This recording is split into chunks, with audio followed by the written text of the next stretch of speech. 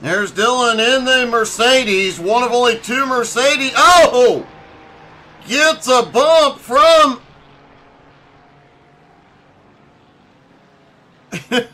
Gets a bump from Guenther. Then they try to get back out on track together.